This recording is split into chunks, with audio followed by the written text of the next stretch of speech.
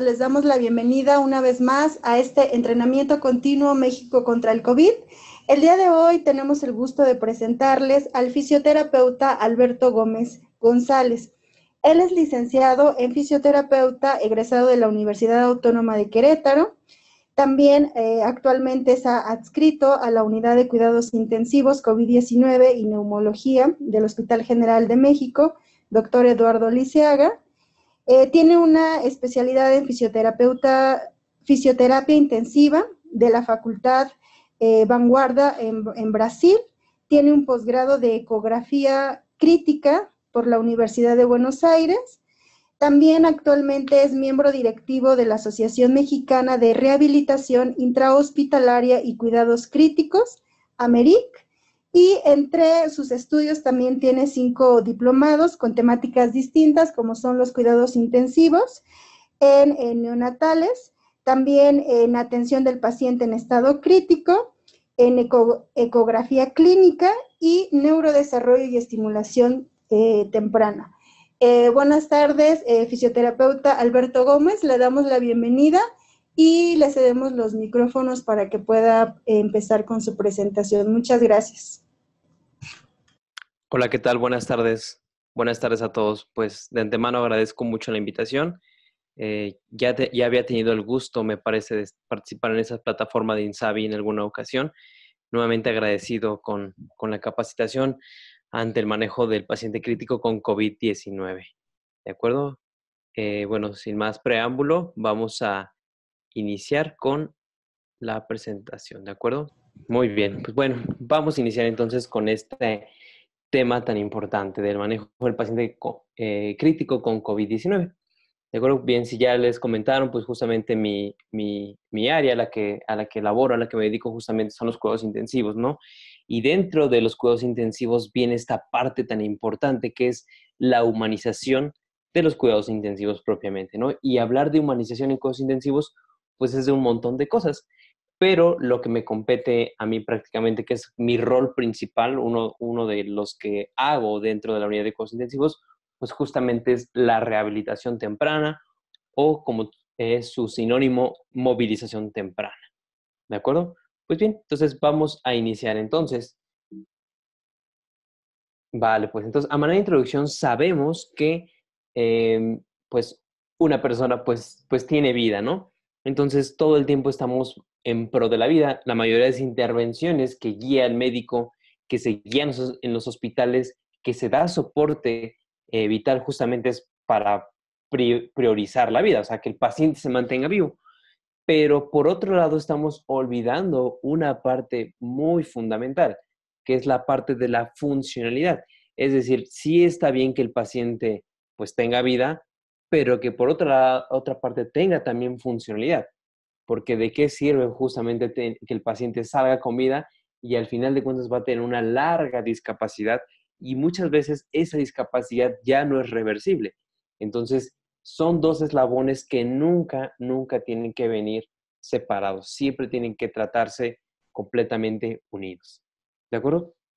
Eh, sabemos que en los últimos 10 años ha habido un desarrollo importantísimo en los soportes vitales, en el soporte ventilatorio, soporte extracorpóreo, ¿de acuerdo? Medicamentos nuevos, tratamientos nuevos, ¿de acuerdo? Al final de cuentas es un desarrollo bastante grande que ha habido en las tecnologías y en los avances de la medicina. Y no se diga sobre todo en los cuidados intensivos, ¿no? Que es justamente la terapia donde estamos luchando entre la vida y la muerte de ese paciente.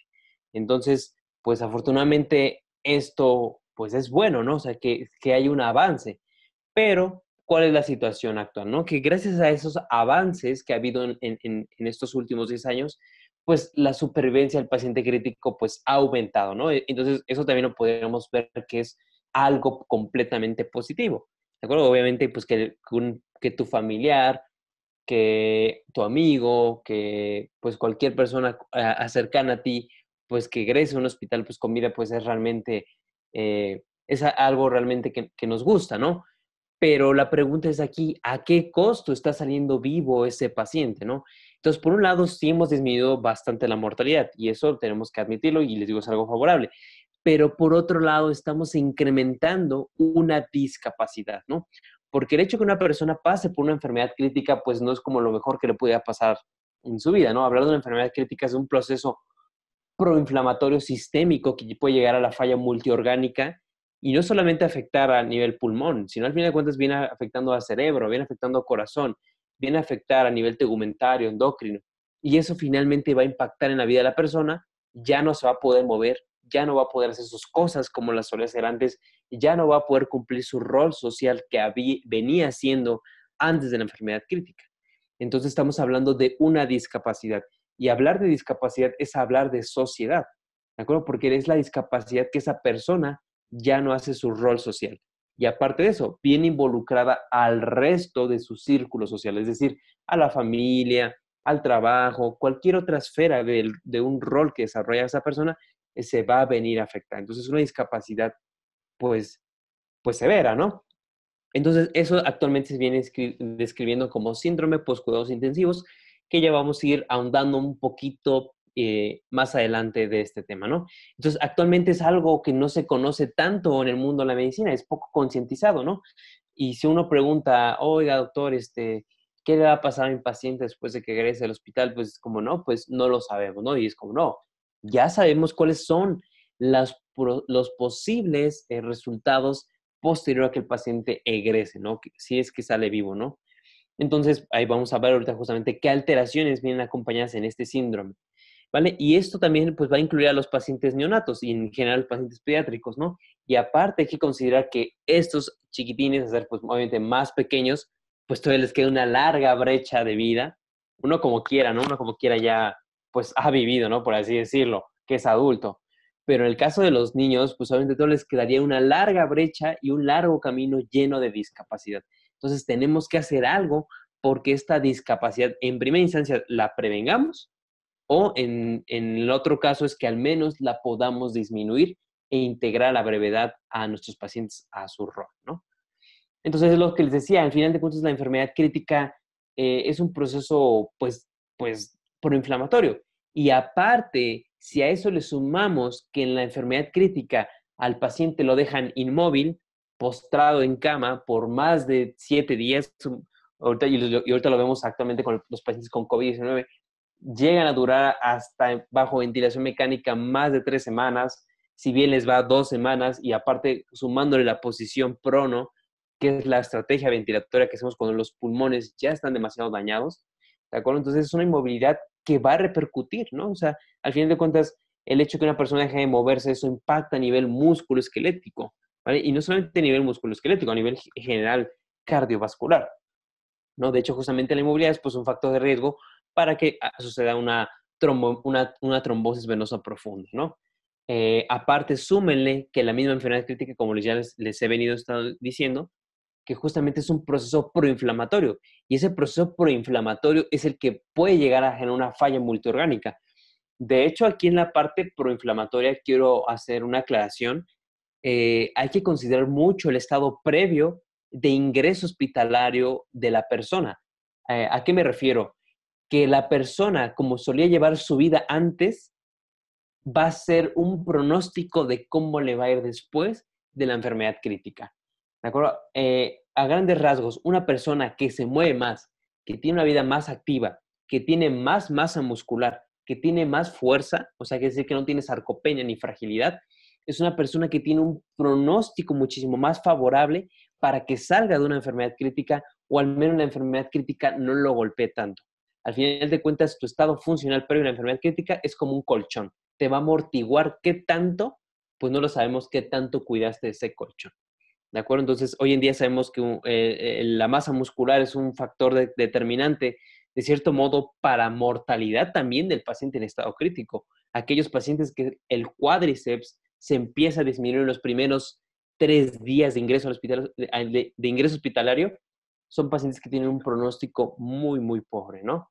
Entonces, eh, hay que tener en considerado esto en la parte eh, inflamatoria, ¿no? Y también el hecho, la respuesta es por qué el músculo se comporta como un factor importante en la enfermedad crítica, es porque el músculo también tiene, aparte de funciones contráctiles, tiene funciones de cierto modo endocrinas que son hormonas que están dentro del músculo y, regulan los procesos inflamatorios. Entonces, entre más músculo, prácticamente menos inflamación, podríamos decirlo a grandes rasgos. ¿De acuerdo? Ahora súmele que aparte el paciente no tiene un adecuado aporte nutricional. ¿De acuerdo? El hecho que el paciente esté bajo ventilación mecánica y pronado no es sinónimo de que esté en ayunos. ¿De acuerdo? Obviamente los primeros días de la enfermedad crítica, sobre todo en el caso de COVID-19 que generan síndrome de respiratorio agudo, obviamente los primeros días es cuando el paciente está chocado, el paciente toda su perfusión está sacrificada a nivel intestinal y todo está en los órganos vitales como corazón, pulmón, cerebro y riñón. Obviamente en esos primeros días no vamos a pensar en darle de comer al paciente, pero en cuando empieza a mejorar la perfusión, eh, tengamos signos de que ya no está ese estado como de choque, en ese instante, en ese momento yo puedo iniciar una, una, una prueba de nutrición. Para eso hay que hacer scores específicos para saber si el paciente ya le tenemos que dar nutrición y hacerlo eh, progresivamente, ¿de acuerdo? Eh, aparte, hay algunos medicamentos específicos, ya los vamos a ver cuáles, que le pegan directamente a, a nivel músculo esquelético, sobre todo a nivel de diafragma, y eso nos retrocede o nos atrasa en la desvinculación o el destete de la ventilación mecánica. ¿De acuerdo? Y también van a impactar a nivel de músculos periféricos y nos pueden ocasionar debilidad del paciente en estado crítico. Y aparte, algo importantísimo, los hábitos que se tengan en ese hospital, ¿no? Regular, hay veces que es como, ¿sabes qué? En, en esta unidad de cuidados intensivos no se hace movilización temprana. Y uno pregunta, ¿por qué? Y es porque, pues porque el paciente está inestable y es como de, mm, pues sabemos que él está en la terapia intensiva o simplemente el hecho que el paciente esté en el hospital ya es, una, es sinónimo de que realmente no está estable, o sea, por algo ingresó al hospital. Entonces hay criterios de seguridad para saber iniciar la movilización temprana y también pautas de cómo realizar movilización temprana, que ya lo vamos a ir viendo más adelante, ¿no? Y aparte, de, eh, igual hay, hay terapias donde dicen que aquí paciente ventilado o paciente intubado es sinónimo a paciente sedado. Y eso ya sabemos que también ya no es una opción hoy en día. El paciente puede estar completamente despierto con ventilación mecánica invasiva incluso realizar deambulación aunque esté intubado. Ya lo vamos viendo más adelante. ¿De acuerdo? Entonces nos hacemos la pregunta, ¿realmente nos conviene tener sedado a nuestro paciente? realmente es un beneficio para el paciente. Y aquí es cuando nos damos cuenta que el costo-beneficio es completamente eh, favorable cuando el paciente está despierto. ¿Por qué? Porque un paciente que está más despierto está más fuerte, puede hacer más actividad física y por ende menos días de ventilación mecánica, menos días de estancia hospitalaria y por ende los costos hospitalarios también bajarían. ¿De acuerdo? Ahora bien, uno se pregunta, y bueno, ¿cómo le va a ir al paciente? Pues en primera instancia vamos a tener que considerar la enfermedad crítica. ¿Qué tan crítica es la enfermedad crítica? Valga la redundancia. En este caso sabemos que la enfermedad crítica por COVID-19 pues es severa, o sea, el síndrome de estrés respiratorio agudo causado por COVID-19 realmente es de cierto modo algo diferente, no del todo, al síndrome de estrés respiratorio agudo que veníamos conociendo como por ejemplo con la influenza ¿De acuerdo? Sabemos que ahora el COVID-19 es una enfermedad que genera demasiados trombos y trombos y trombos y eso también hace que se altere esa ventilación, que no haya una adecuada perfusión y eso también pues, le va a pegar al pronóstico del paciente, ¿no? Eh, ya les comentaba el estado funcional previo, es decir, qué tan fuerte y tan funcional era el paciente antes que le diera la enfermedad crítica, eso también nos va a ayudar, o, o tanto la edad nos va a ayudar a determinar cómo elevar a nuestros pacientes entonces pregunten, cuando lleguen sus pacientes, pregúntenle, oiga, su familia a qué se dedicaba, era deportista, o a lo mejor si no era deportista, qué tipo de trabajo es el que tenía, ¿no? Luego yo me suelo encontrar con pacientes, ¿sabes qué? Yo no era deportista, pero todos los días al trabajo me iba en bicicleta y para ir y para y hacía en bicicleta aproximadamente dos horas, de ida y de regreso. Entonces, de cierto modo, es una persona que todo el tiempo estaba activa. No era, una, no era un ejercicio, no, no era ejercicio como tal, sino era una actividad física. ¿vale? Pero eso ya le ayudó, a diferencia de una persona que era ama de casa, que de cierto modo sé que también es un gasto metabólico, obviamente, pero no es un gasto metabólico tan elevado como otra persona. Entonces hay que preguntar eso también, ¿no? Y sobre todo las complicaciones que se desarrollen durante la estancia hospitalaria, ¿no? Que esas complicaciones de cierto modo pueden ser prevenibles, ¿de acuerdo? Entonces, donde todos como equipo, de, como equipo, em, como staff médico tenemos que hacer siempre un, pues un este, consenso de ver que nuestros pacientes realmente estén en metas a nuestro tratamiento, ¿no? El intensivista se dedica a lo suyo, el urgenciólogo a lo suyo, el terapeuta respiratorio a lo suyo, enfermería a lo suyo y poner en el caso mío, fisioterapia se dedique a lo suyo. Entonces, cuando juntamos todos estos eslabones, pues le va bien a nuestro paciente, ¿de acuerdo? Entonces, uno como fisioterapeuta o como o, el personal destinado a la rehabilitación del paciente en estado crítico tiene que tener este panorama. Por un lado, aquí en, el lado derecho, el lado izquierdo de la pantalla, perdón, tienen una balanza, ¿de acuerdo? En el cual la balanza está apuntando hacia la funcionalidad, ¿no? Entonces, en este caso, lo que queremos como personal de rehabilitación o de fisioterapia es que el paciente sea más funcional. O sea, que que no pierda su rol social, ¿de acuerdo? Que cuando egrese de la terapia intensiva o del hospital, regrese a hacer su vida casi como solía ser antes.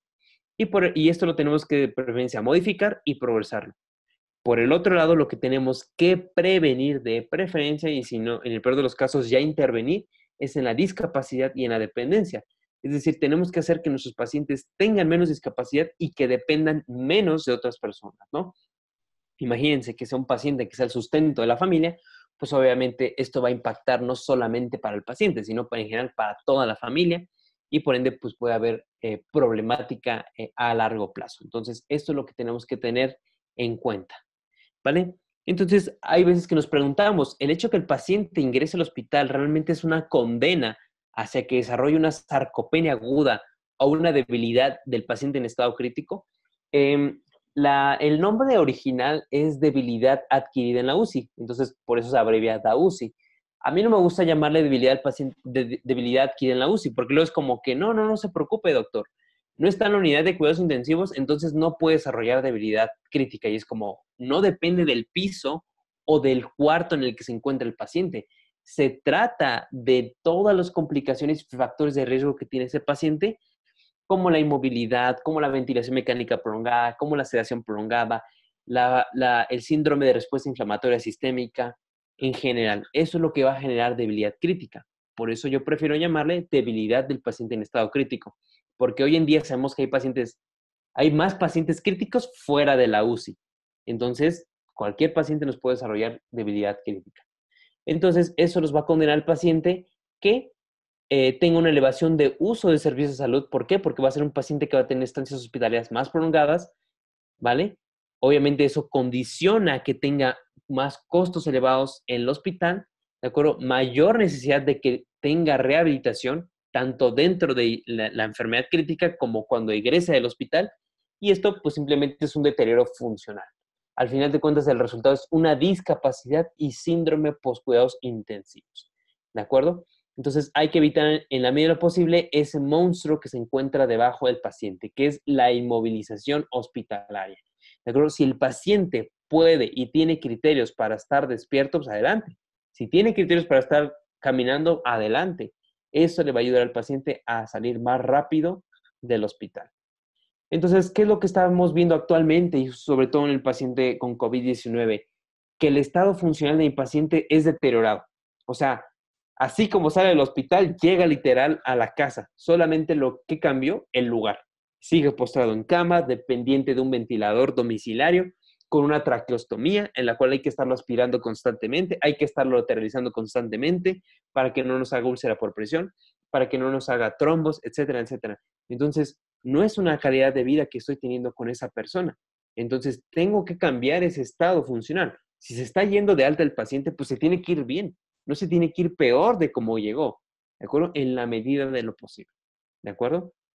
Entonces, cuando uno hace un hincapié de, pues, ¿por qué el paciente desarrolló síndrome postcos intensivos? Pues desenmascaramos algunas cosas que tal vez algunas son prevenibles, otras no tanto, ¿no?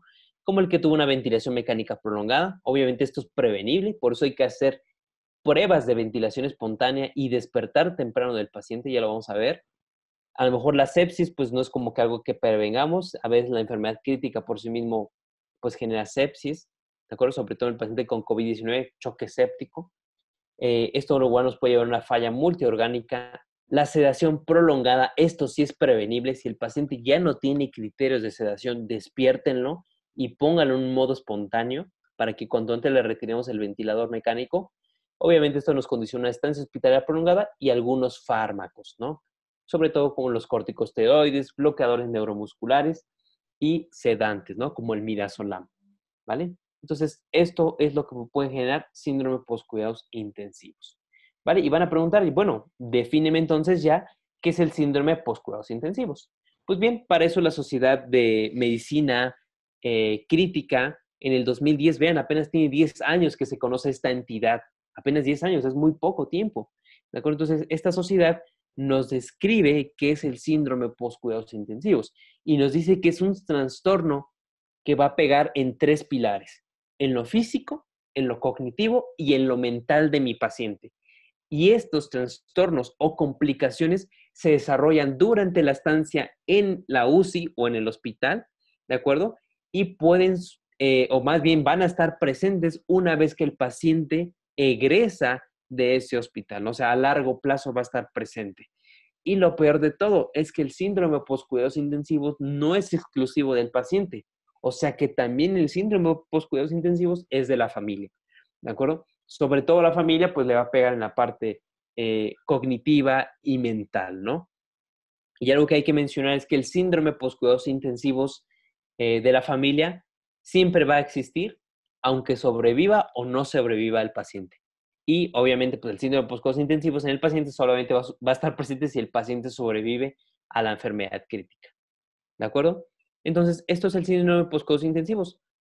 Eh, súmenle que actualmente hay, hay, población más este, longeva, las personas viven más de cierto modo por esos avances de la enfermedad crítica, eh, se ha incrementado justamente los pacientes por sepsis, ahorita lo vemos justamente actualmente por infección, en este caso por COVID-19, que llegan al choque séptico, y, y aparte los avances en la tecnología.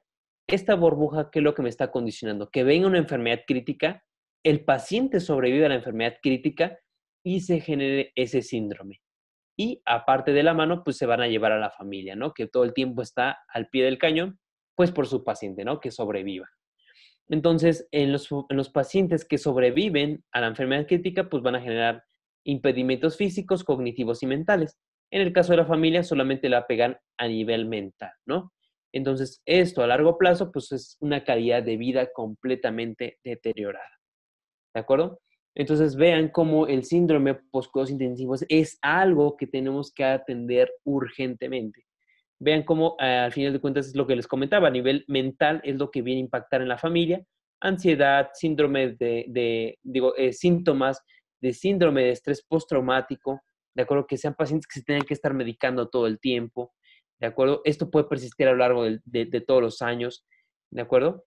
Entonces es algo que tenemos que atender también en las familias, ¿vale? Y en el caso del paciente, ¿qué es lo que encontramos? Vean, menos del 10% de los pacientes que tuvieron ventilación mecánica por más de cuatro días y están vivos son completamente independientes a un, a un año, ¿de acuerdo? Solamente menos del 10%. O sea, ¿qué está pasando entonces con el otro 90% de pacientes que tuvieron ventilación mecánica? Quiere decir que todavía más de un año requieren de asistencia, asistencia, asistencia. ¿De acuerdo? Requieren asistencia por algún cuidador en las actividades de la vida diaria, ¿de acuerdo? Más de un año. ¿de acuerdo? Al menos la mitad de los pacientes que tuvieron síndrome de este respiratorio agudo, como el COVID-19, no regresan al trabajo en más de un año. O sea, entonces imagínense, si ese paciente es el sustento de la familia, pues ahí se vino a afectar, ¿de acuerdo? Aquí dice que la debilidad adquirida en en la unidad de cuidados intensivos o de debilidad del paciente en estado crítico persiste por años, ¿de acuerdo? Y puede desarrollarse desde el 25 al 80% de los pacientes que tuvieron sepsis o que tuvieron ventilación mecánica por más de cuatro días. Los impedimentos cognitivos persisten por muchos años en entre el 30 al 80% de aquellos pacientes, ¿de acuerdo? Hay síntomas de depresión, de ansiedad y también de síndrome de estrés postraumático, ¿de acuerdo? Entonces, esto urge, urge. Entonces, a grandes rasgos, estas complicaciones, ¿cuánto van a durar? Si bien van los pacientes, un mes. Pero por el otro lado, por muy peor que les vaya, hasta ocho años para volver a hacer su vida como solía ser antes. Imagínense en ocho años, si por sí uno se desespera una semana, ahora imagínense ocho años que vivas dependiente con una discapacidad, pues es algo que tenemos que atender inmediatamente. No es un manejo humano, ¿vale? Entonces, las principales alteraciones en SDRA, como ejemplo con COVID-19, pues capacidad para la marcha, al ejercicio, son pacientes que se van a casa y ya no pueden caminar otra vez, ya no pueden hacer ejercicio, tienen debilidad porque tienen una disminución en la fuerza muscular y sobre todo las actividades físicas se ven afectadas, sobre todo cuando les aplicamos este cuestionario, el cuestionario SF36. ¿De acuerdo? Hay alteraciones cognitivas, sobre todo como la ansiedad, la depresión y el estrés postraumático. ¿De acuerdo? A grandes rasgos es una discapacidad para mi paciente. Entonces, en general, PICS o síndrome intensivos es pegarle a estos tres pilares, físico, cognitivo y mental. En cuanto al paciente se le, se le, se le afecta lo cognitivo, la discapacidad va a ser más severa. ¿Por qué? Porque ya cognitivamente ya no me entiende el paciente, ya no va a ser autónomo y ya no va a ser independiente. A lo mejor en lo físico podrá ser todavía autónomo, tal vez no independiente, pero sí va a ser de cierto modo autónomo. ¿Vale? Y en lo mental, pues también le va a venir a pegar. Entonces, no solamente en el paciente eh, adulto, sino también eso se puede generar en el paciente eh, pediátrico. Y no se diga que también el COVID-19, pues mm, rara vez, pero se ha visto que también le pega a los pacientes pediátricos. Entonces, también, imagínense que ellos están todavía más pequeños, pues les, les queda una larga brecha de recorrer esa discapacidad. ¿Cuáles son los factores para este síndrome de poscuidados intensivos? Esta revisión sistémica nos dice lo siguiente, esta revisión sistémica y metaanálisis. La edad avanzada, obviamente, no es lo mismo que ingrese un paciente de 18 años a que ingrese un paciente de 85 años. Obviamente, los pronósticos van a ser completamente diferentes. Eso ya se sabe de hace mucho tiempo. El sexo femenino. Uno va a preguntar, ¿y por qué las mujeres tienen más factores de riesgo de desarrollo del síndrome de poscuidados intensivos? Pues probablemente es porque tienen menor masa muscular, ¿no? Y ya les explicaba cuál es eh, ese mecanismo protector de tener más masa muscular ante la enfermedad crítica. ¿De acuerdo? Probablemente sea la explicación. No, hasta el momento no se ha, no se ha explicado por qué. Problemas mentales previos, o sea que el paciente ya desde antes no era de cierto modo tan autónomo. Una enfermedad severa como el COVID-19 actualmente. Una experiencia negativa en la UCI, ¿de acuerdo? Y el delirio. Entonces, aquí yo hago la pregunta, ¿cuál de estos factores son modificables? La edad avanzada, pues no se la puedo modificar al paciente. Ya, o ya cumplió años, ya vivió, pues ya me llegó crítico, pues ya ni modo, ¿no? El sexo, pues definitivamente no lo podemos cambiar, ¿no? O sea, el paciente, pues, de cierto modo, eh, pues por, por, biología, pues es hombre o mujer de cierto modo, entonces ahí va a partir los, los, los pronósticos, ¿no? Los problemas mentales previos, pues es algo que tampoco yo puedo cuidar, ¿vale? La enfermedad crítica tampoco no es algo que yo pueda modificar, no es como que le diga al paciente, oiga, pues usted enfermece menos y usted enfermece más, no, eso no lo puedo hacer. Pero ¿qué sí puedo modificar? Los dos últimos. Una experiencia negativa en la unidad de cuidados intensivos, o sea, que sea un manejo no humanizado, que es lo que vamos a ver ahorita justamente. Tenemos que humanizar nuestras áreas críticas. ¿De acuerdo? Al final de cuentas estamos tratando con personas. Y esas personas son papá, son mamá, son hermanos, son amigos. Entonces tenemos que tratarlas bien y generar un bienestar en ellos para que el pronóstico de esos pacientes sea mucho mejor. Y el delirio. El delirio es una entidad grave, quiere decir que tan mal le está yendo al paciente que su cerebro le está diciendo, oye, vete de esta realidad que está horrible y tú crea tu propia realidad. Entonces quiere decir que no estamos haciendo metas de bienestar en la unidad de cuidados intensivos. Entonces el delirio, claro que es prevenible, de cierto modo, ¿de acuerdo? Hay medidas no farmacológicas y farmacológicas para tratar el delirio. En este caso vamos a abordar las no farmacológicas. ¿De acuerdo? Entonces ya vimos que en general qué es lo que, lo que va a generar el síndrome de postcuidados intensivos y que puede durar desde meses hasta años. ¿De acuerdo?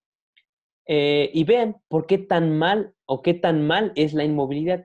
Vean, una persona que tan solo no se mueve en un solo día que está en terapia intensiva, en un solo día pierde 1.1 kilogramos de masa magra por día, por día, y 11% de fuerza muscular.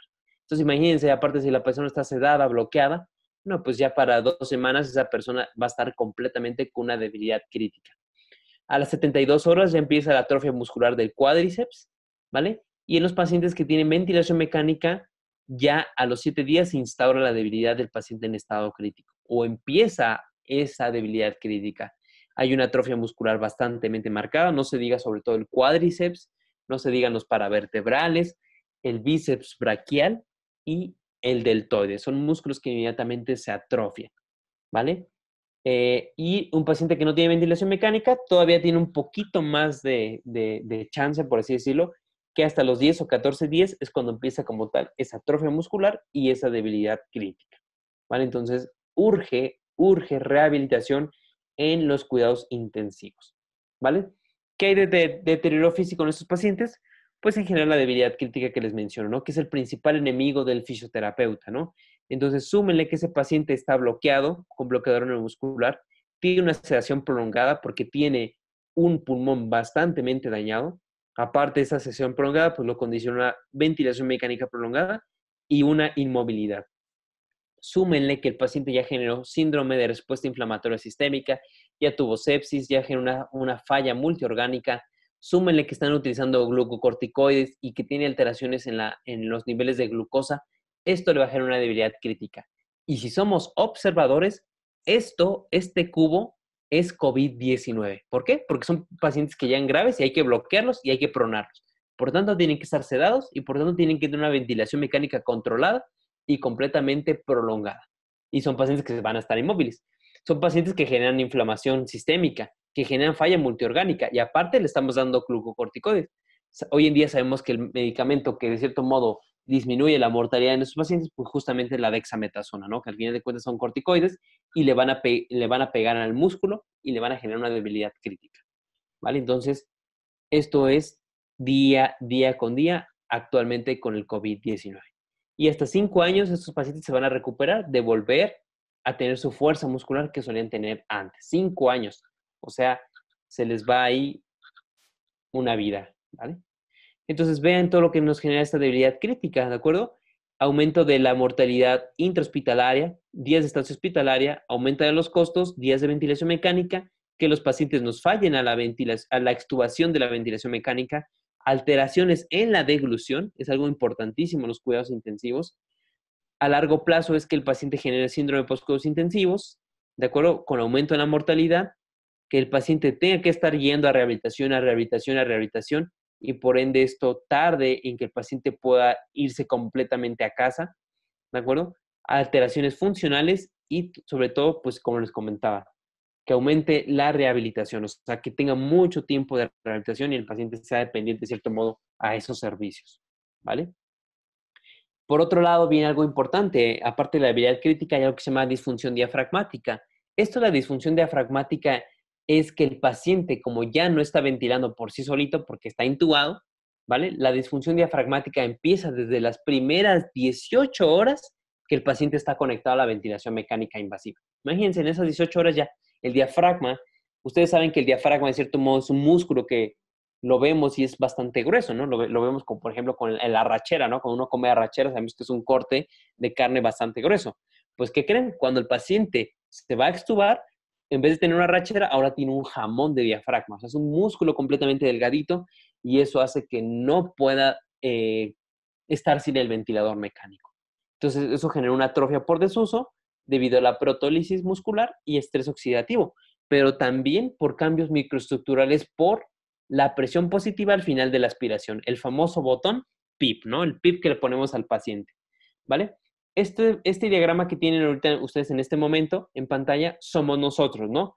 Somos pacientes o somos personas que todo el tiempo estamos respirando, ¿no?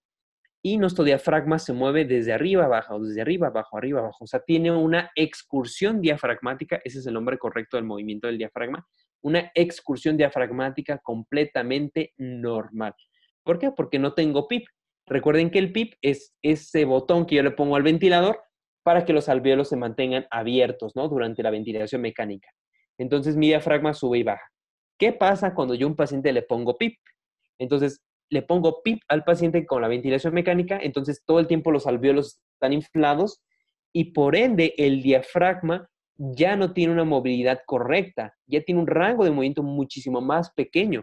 Entonces esto dice el cuerpo. Ustedes saben que todo lo que no se usa es atrofia entonces el cuerpo, ok, ¿para qué voy a tener estas sarcómeras o, esta cantidad de músculo si ya no la voy a ocupar? Entonces lo que genera es que empieza a desechar sarcómeras. Entonces vean, aquí es una persona normal, a manera de ejemplo, tiene tres sarcómeras el diafragma para realizar la ventilación, ¿no? Ahora, el paciente se intuba y le ponen PIP, entonces esas sarcómeras se vienen a, a como decirlo, como a apachurrar, se empiezan a juntar. Entonces, ¿qué pasa si el paciente tiene una ventilación mecánica prolongada, dice el cuerpo, ok, si ya no me estás ocupando, pues mejor te voy a eliminar, ¿no? Entonces empieza a eliminar lo que no está ocupando. Entonces, ¿qué pasa ahora cuando yo voy a poner al paciente en el winning, que es el destete de la ventilación mecánica, o sea, para quitársela, pues ahora las tres sarcómeres que tenía al inicio que me hacían mi ventilación espontánea, ahora solamente tengo dos que están realizando ese trabajo. Y por ende los, los pacientes se fatigan y fallan al destete de la ventilación mecánica y por eso no los podemos extubar. ¿De acuerdo? Entonces uno se pregunta, pues, ¿qué onda? Pues, ¿por qué el paciente no puede dejar el ventilador mecánico? Pues cuando nos checamos el diafragma, pues lo vemos así, ¿no? Completamente atrofiado. Entonces, la debilidad, la debilidad diafragmática es dos veces más frecuente que la debilidad del paciente en estado crítico. O sea, es más probable que te topes con una enfermedad, digo, con una debilidad diafragmática que como tal una debilidad de las extremidades, tanto superiores como inferiores. Es una relación 2 a 1. Entonces, es, es una situación que tiene alta prevalencia en la unidad de cuidados intensivos y en general en el hospital, con cualquier paciente que tenga ventilación mecánica invasiva. ¿Vale? En la capacidad aeróbica, pues lo vemos, son pacientes que ya egresan y tienen una, caminata de seis minutos completamente afectada. ¿De acuerdo? ¿Eso, ¿Eso qué quiere decir? Que son pacientes que tienen una, una este, mm, ¿cómo decirlo? Una, pues una reserva aeróbica completamente afectada. Vean, eh, se ha visto que en aquellos que sobreviven a debilidad crítica, pues recorren distancias menores hasta del 58 al 85% a los 6 y a los 12 meses. O sea, son pacientes que se van a fatigar todo el tiempo, que ya no van a poder correr, ya no van a poder subir escaleras como lo solían hacer antes. Entonces tenemos que hacer algo por estos pacientes. Los músculos inspiratorios también se han visto afectados.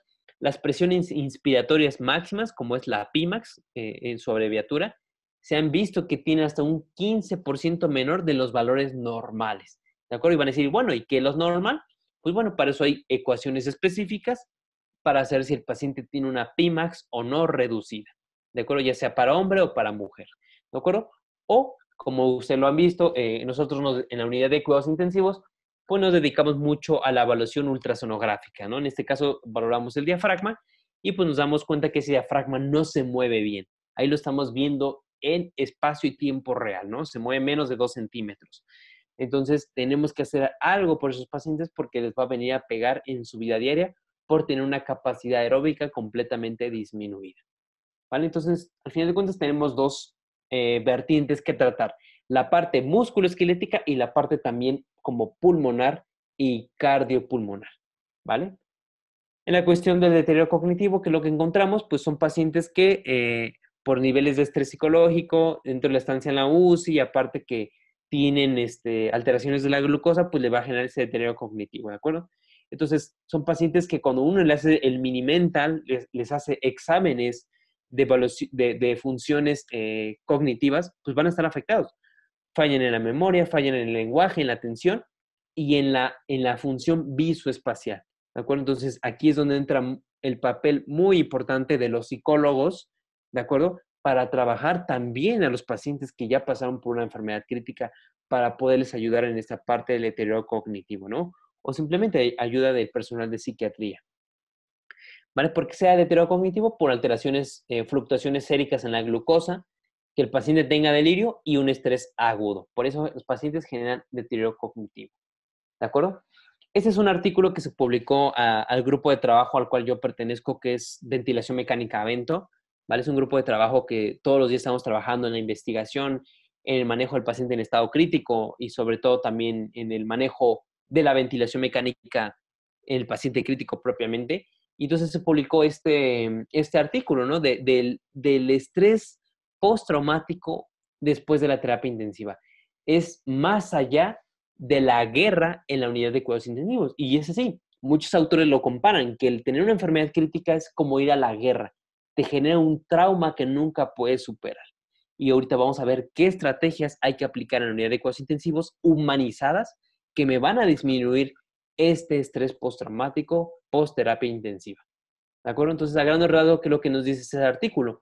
Factores de riesgo para este síndrome, que tengan un apache elevado, que tengan una escala de Glasgow anormal, sedación, que tengan ventilación mecánica tanto invasiva como no invasiva, que hayan utilizado vasopresores, procedimientos invasivos como la cirugía ¿de acuerdo? Dispositivos invasivos como múltiples catéteres. Si hay algunos dispositivos que más generan delirio, son dos.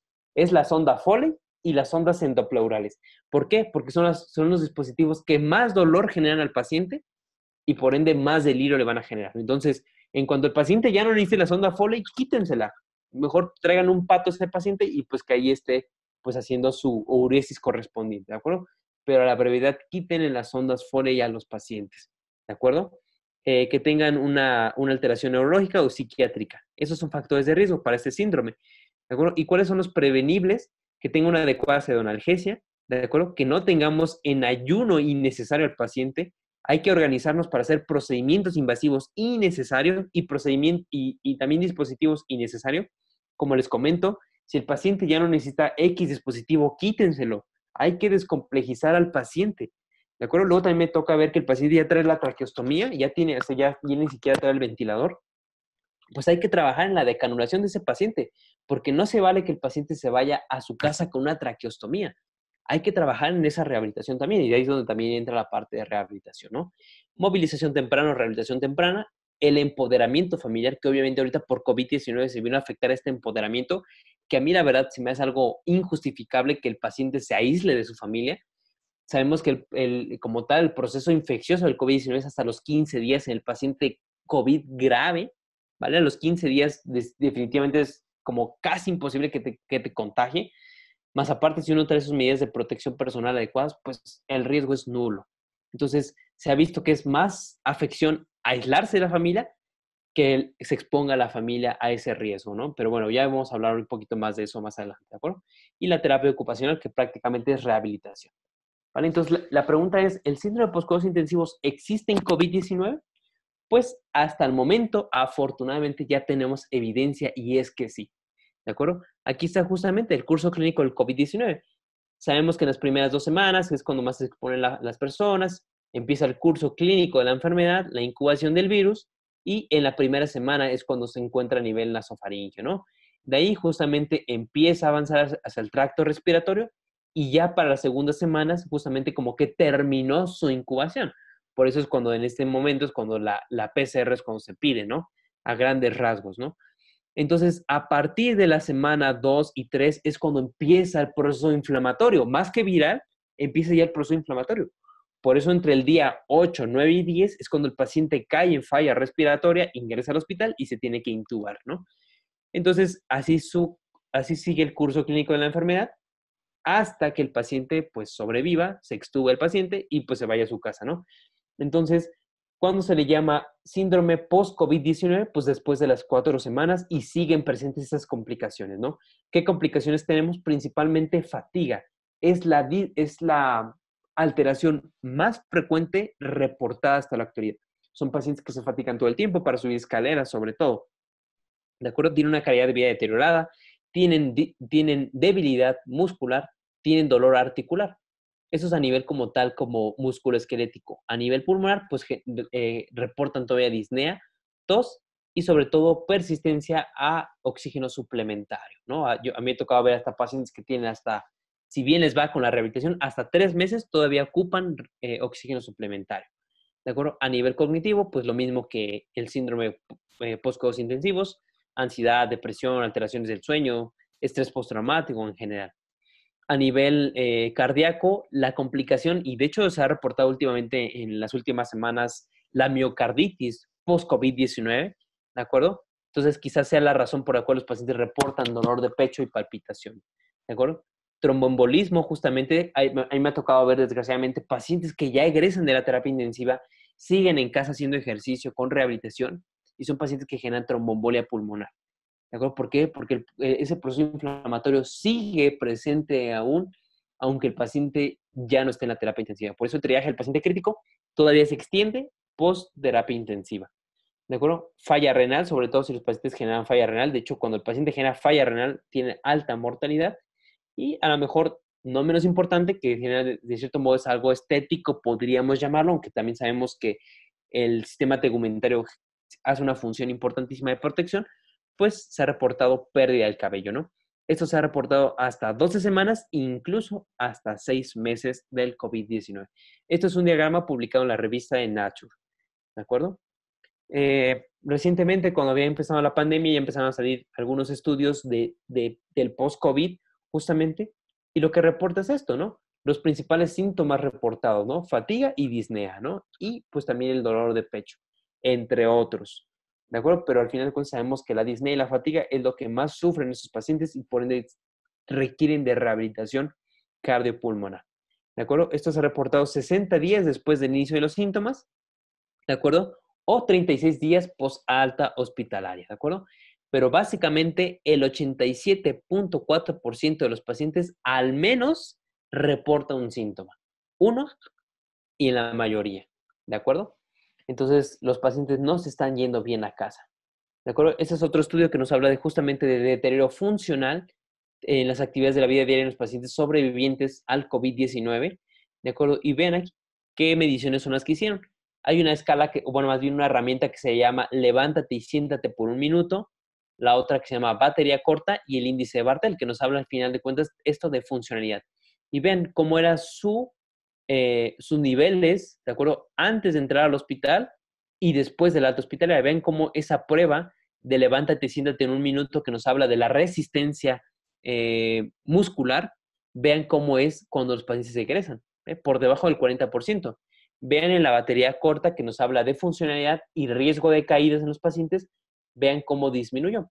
Tal vez poco más del 40%, pero está disminuido, ¿no? Cuando egresan los pacientes. Y en la escala de Bartel, que nos habla de independencia, vean que los pacientes ya no son independientes una vez que egresaron de la terapia intensiva o del hospital. ¿De acuerdo? Y pues bueno, ya para entrar así en materia a lo que nos compete justamente esto a manera de introducción y de cierto modo justificar por qué la rehabilitación es tan importante en la unidad de cuidados intensivos o simplemente en el ámbito hospitalario y las áreas críticas, justamente es en este artículo que nosotros publicamos, ¿no? Está publicado en el Acta Médica Los Ángeles y, nos, y es lo que exponemos. ¿Cuál es el rol del fisioterapeuta en la unidad de cuidados intensivos? ¿Es realmente un profesional necesario? Básicamente lo que exponemos en este artículo es lo siguiente, a lo que nos dedicamos. En primera instancia, la rehabilitación motora o movilización temprana, como lo queramos llamar. Y tenemos distintas eh, eh, variedades de ofrecerle al paciente, por así decirlo desde la movilización pasiva, que es lo que menos tendríamos que priorizar. O sea, acuérdense que hay que, hay que optar de preferencia por intervenciones activas, porque son los que tienen impacto metabólico y hemodinámico en el paciente. Lo pasivo, de cierto modo, no que no sea malo y no se tenga que hacer, claro que se tiene que hacer si el paciente tiene criterios ya de estabilidad hemodinámica, ¿de acuerdo? Pero cuanto antes hay que iniciar con la movilización activa, ¿de acuerdo? El ejercicio resistido en sus distintas modalidades con resistencia elástica, con peso libre, etcétera, etcétera. ¿De acuerdo? Ahora sí, lo que tengan disponibilidad los fisioterapeutas en ese momento. Electroestimulación muscular, ¿de acuerdo? Si la hay. Y lo más importante, priorizar en actividades de la vida diaria. O sea, que el paciente ya pueda sentarse en la orilla de la cama, que ya pueda pararse, que ya pueda hacer transferencias de la cama a la silla, de la silla a la cama, que ya pueda deambular si se puede, aunque traiga ventilación mecánica. De hecho, vean, por ejemplo, esta, esta imagen de algunos brasileños, digo, de algunos este, fisioterapeutas brasileños, si no mal recuerdo. Entonces, vean, paciente con ventilación mecánica invasiva caminando como si no pasara absolutamente nada, ¿vale? Ahorita vamos a ver que esa realidad en México ya no es distante. Eh, y sobre todo si el paciente ya tiene alteraciones neurológicas, pues hay que iniciar la neurorehabilitación. Por otro lado, somos responsables también los fisioterapeutas o el personal de rehabilitación de los cuidados respiratorios y de la fisioterapia pulmonar, ¿no?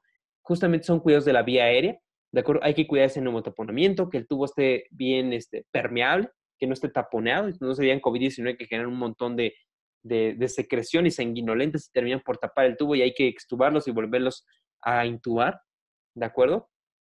Eh, y sobre todo el neumotaponamiento, que al final de cuentas puede tener alteraciones de disfagia en los pacientes por no cuidar ese neumotaponamiento o estenosis traqueal. Eh, manejo de la ventilación mecánica, tanto invasiva como no invasiva, y esto lo pongo en signo de interrogación, porque es como que no, es que el fisioterapeuta no debe saber de ventilación mecánica en la UCI. Es claro que tiene que saber de ventilación mecánica. No hay una condición que altere más la ventilación que el ejercicio. Por ende, durante el ejercicio con el paciente con ventilación mecánica, tenemos que saber ajustar otra vez los parámetros porque el paciente ya no tiene el estado basal de reposo. Ahora está en ejercicio y por ende tenemos que también ajustar la ventilación. Y no nada más durante el ejercicio, en general tenemos que también saber programar el ventilador y metas de protección pulmonar. ¿De acuerdo? Monitoreo de la ventilación mecánica, es, eso se da por ende, y el fisioterapeuta es responsable de la desvinculación del, de, de la ventilación mecánica del paciente. O sea, nosotros somos los responsables de extubar al paciente. Al menos en el hospital es lo que se hace y no solamente es que lo digo yo, sino otras organizaciones como la Sociedad Argentina de Terapia Intensiva y también en general la WCPT ya lo dictamina, ¿vale? Y ahorita vamos a ver que no son cosas como, como que uno se saca de la manga, ¿vale? Eh, somos responsables del entrenamiento de músculos inspiratorios, de utilizar eh, fisioterapia pulmonar como las técnicas activas de ciclos respiratorios y a lo mejor lo que más se le llega a conocer al fisioterapeuta en la unidad de cuidados intensivos es en las técnicas de higiene bronquial, ¿vale? Que no es lo único que hacemos, sino que hacemos todo esto de, de cuidados respiratorios, ¿vale? Pero al final de cuentas tenemos que optar por funcionalidad en nuestros pacientes, o sea, que esa intervención que yo voy a hacer realmente ayude al paciente que sea más funcional, o sea, más independiente, pues, ¿vale? Entonces, esto es lo que les decía, justamente ahorita que estalló la pandemia de COVID-19, la WCPT, que es una de las organizaciones a nivel mundial que rigen la fisioterapia, dice lo siguiente, ¿cuáles son los roles del fisioterapeuta? Y vean, o del kinesiólogo, que es el homólogo en Sudamérica, el fisioterapeuta aquí en México, él es el responsable de la ventilación mecánica, del control de secreciones, de la rehabilitación motora y del alto hospitalario. ¿De acuerdo? Entonces es una, un órgano a nivel mundial que rige estos roles del fisioterapeuta. ¿Vale? Entonces, tenemos que concentrarnos en esto como personal de rehabilitación. ¿Vale? Y bueno, ya les comentaba que estamos entrando ya propiamente en materia de la rehabilitación temprana y ese es un artículo que publicamos eh, a finales del año pasado, el 2020, en la revista ICU Management and Practice, que hablamos justamente de ese síndrome de postcuidados intensivos que ya lo hemos escrito a lo largo de esta charla, pero por otro lado, las intervenciones que tenemos que hacer. Entonces, a grandes rasgos, lo que resume el artículo es lo siguiente tenemos dos panoramas. Del lado izquierdo de la pantalla tenemos el panorama de discapacidad, ¿vale? O sea, alteraciones que me van a generar síndrome postcuidados intensivos, ¿de acuerdo? Como la debilidad del paciente en estado crítico, atrofia muscular, que tengan alteraciones y retracciones articulares como hombro congelado y osificación heterotópica. A nivel central y cognitivo, que tengan alteraciones cognitivas, delirio, dolor crónico, ansiedad, depresión, estrés postraumático y sobre todo la familia que tenga ansiedad y depresión a nivel como más general, pues que el paciente tenga alteraciones emocionales, sociales, sobre todo porque ya tiene, eh, ya tiene algunas cicatrices, no se diga sobre todo los pacientes que tiene, tuvieron alguna traqueostomía, pues ya quedan ahí con una cicatriz, que tuvieron múltiples catéteres, que tuvieron una sonda endopleural, entonces quedan con esas cicatrices e impacta a nivel, eh, a nivel emocional, ¿no? Y algunos procedimientos invasivos, ¿no? Que les van a generar dolor. Eh, en lo ventilatorio, pues sobre todo la lesión inducida por la ventilación mecánica, por no programar una ventilación mecánica adecuada, no estar en metas de protección pulmonar, ¿vale? Que ese, que ese diafragma no tuvo su adecuada movilidad y su adecuada activación cuando ya, ya estaba listo el paciente, generó un miotrauma diafragmático, tienen presiones inspiratorias máximas reducidas, generan, terminan con un patrón obstructivo y, y restrictivo los pacientes que tuvieron ventilación mecánica, tienen bronquiectasias y fibrosis pulmonar, ¿vale? Ahora, ¿qué es lo que tenemos que hacer nosotros como fisioterapeutas o como personal de rehabilitación para dar un manejo humanizado basado en la rehabilitación? Y aquí está, despertar tempranamente al paciente. Cuando el paciente ya no tiene criterios de estar en prono, de estar sedado y bloqueado, hay que despertar al paciente y hay que hacer una prueba de, de despertar temprano. ¿Qué quiere decir esta prueba? Retira sedaciones o más bien baja sedación obviamente el bloqueo neuromuscular también, y se despierta el paciente. Entonces el paciente ya no está controlado por la ventilación mecánica, ahora está asistido por la ventilación mecánica y vamos a ver si empieza con taquipnea, si empieza con taquicardia, si hipertensa o se hipotensa, eh, baja la saturación, empieza a hacer esfuerzos bastante vigorosos, que eso de los esfuerzos vigorosos ya, es como tal un, un, criterio para volver a sedar al paciente. Quiere decir que el paciente pues no está listo. Entonces no nos preocupemos, volvemos a subir los niveles de sedación pero ya no programamos al paciente y lo dejamos ahí otro día tal vez, lo seguimos cuidando, que no se sobreinfecte, que siga con, con hemodinamia bien, que siga orinando, y al día siguiente le volvemos a hacer lo mismo. Y así poco a poco nos lo vamos llevando hasta que el paciente tolere despertar, lo pasamos a un modo espontáneo y ahora sí, lo llevamos al retiro de la ventilación mecánica. Hay que manejar eh, el dolor, de preferencia prevenirlo. Hay que generar empoderamiento de la familia. En enero del 2021 de este año justamente salió un artículo eh, publicado en The Lancet, si no mal recuerdo, en el cual hablaba de los factores de riesgo para delirio. Y el principal factor de riesgo para delirio es el aislamiento y la pérdida de la familia, o sea, que la familia no esté involucrada. Entonces, un factor protector para el delirium son las videollamadas. Entonces, si yo sé que hay hospitales en los cuales, no de hecho la mayoría, no se permite ingresar al paciente, al, familiar al área COVID, justamente por el riesgo de contagio, obviamente eso no lo voy a discutir, ¿vale? Pero tenemos que hacer al menos videollamadas. Eso es lo que se ha visto que disminuye el delirio y eso es generar empoderamiento familiar y eso es hacer un manejo humanizado con los pacientes críticos, ¿de acuerdo? Hay que evitar la sedación, la sedación profunda de preferencia solamente cuando el paciente esté pronado y hay que evitar las benzodiazepinas como el midazolam. Ya de preferencia no hay que sedar con midazolam porque genera días de estancia hospitalaria, días de ventilación mecánica y genera debilidad del paciente en estado crítico y disfunción diafragmática. Entonces, opten por otros sedantes, ¿vale? Tal vez propofol, no lo sé, pero de preferencia midazolam ya no. Sé que en un momento hubo desabasto de insumos como tal hospitalarios, pero bueno, era la justificación. Pero si no, si no podemos eh, sedar con midazolam, pues evítenlo, ¿vale? Eh, hay algo que se llama diarios de la UCI. Ustedes cuando, ustedes todos los días pues, están conscientes de lo que es en su día a día. El paciente que está bajo ventilación mecánica invasiva, que está sedado y pronado y bloqueado, no sabe lo que está pasando. Entonces, cuando despierta, queda con lagunas psicológicas y esas lagunas psicológicas son las que van a generar el estrés postraumático y la depresión y la ansiedad de no saber qué pasó en su vida en ese momento. Entonces, los diarios de la UCI es agarrar un diario, un cuaderno y tú como profesional de salud, día a día escribes un diario. Hoy se le hizo este procedimiento, hoy mejoró, hoy se hizo esto, etc. Entonces, cuando el paciente despierta, se le da ese diario y él lo va a empezar a leer porque es su vida. ¿De acuerdo? Entonces, este diario no, necesariamente tiene que ser con puras escritos, puede ser a través de fotografías, ¿de acuerdo? Lo puede hacer propiamente el paciente cuando esté despierto o, si o cualquier personal de salud, ¿de acuerdo? Hay que tener bien controlada la glucosa, hay que generar un ambiente de reparación, ¿vale? Esto es evitar que el paciente tenga exposición a la luz cuando es de noche. Si ya es de noche, póngale algo en la cara al paciente para que no esté viendo la luz si no, pidan los familiares que les traigan tal vez algunas gafas para el sueño, si no, pónganle un cubrebocas para que no esté viendo la luz, ¿de acuerdo? Eh, expongan a la luz natural, eso ya se ha estudiado, que el paciente que se expone a la luz natural del día genera menos ansiedad y por ende menos ansiolíticos, ¿de acuerdo? Y por ahí algún estudio también ya se ha visto que menos delirio. Entonces, díganle también a los pacientes si ya es de día o ya es de noche, pero de preferencia expónganlo a la luz natural. Hay que evitar el ruido innecesario, no hay que poner reggaetón ahí en la, en la, pues en la central, ¿no? Obviamente, si el paciente lo pide, pues bueno, adelante, pero si no se necesita poner ruido, pues no lo pongan. Generen un ambiente reparador para el paciente, ¿de acuerdo? Hay que favorecer la calidad del sueño, ¿vale? Hay que evitar procedimientos innecesarios cuando el paciente ya está dormido, porque imagínense uno cómo se pone de manos cuando lo despiertan cuando todavía tiene que estar dormido. Obviamente los pacientes pues también se van a molestar, ¿no? y la musicoterapia, ¿de acuerdo? Sobre todo música clásica es lo que más se ha reportado como Mozart, entre otras cosas. Pero si el paciente es acá medio metalero, medio rockero, pues bueno, lo que pida el paciente al final de cuentas es hacer un manejo humanizado.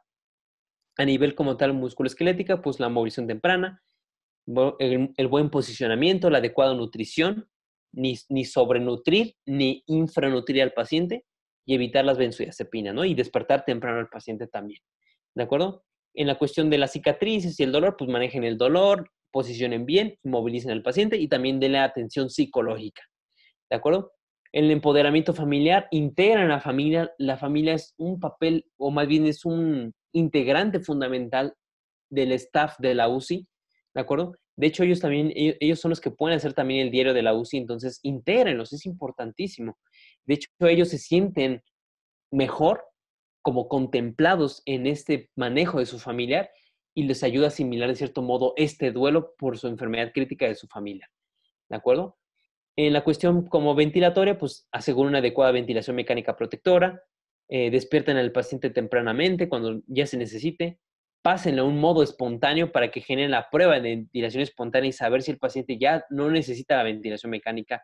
eviten las benzodiazepinas, movilización temprana, entrenamiento de músculos inspiratorios y fisioterapia pulmonar cuando se necesite. Si el paciente puede expectorar solito las secreciones, no le den fisioterapia pulmonar, mejor movilícenlo, ¿de acuerdo?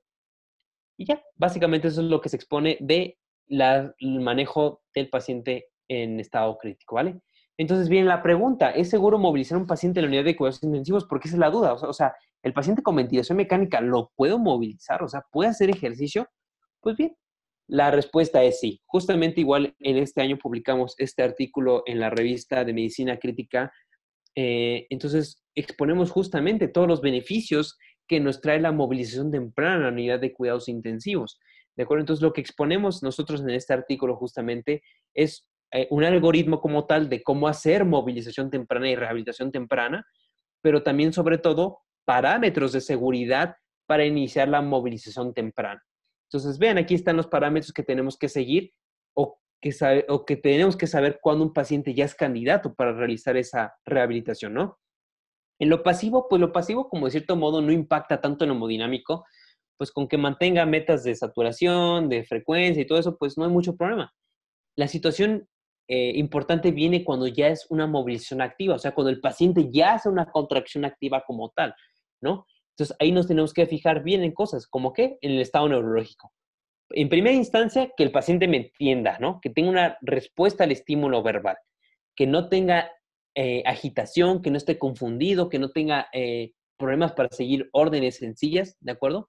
Que no aumente la presión intracraneal, ¿de acuerdo? Sin necesidad de aumentar la sedación, que en lo cardiovascular pues esté bien, o sea, que tenga una frecuencia cardíaca entre 50 y 130, ¿de acuerdo? Que no haya alteraciones electrocardiográficas, ausencia de hipotensión ortostática, que no tengamos que aumentar las aminas a dosis altas, ¿de acuerdo? De preferencia que esté la norepinefrina, menos de 15 microgramos por minuto, ¿de acuerdo?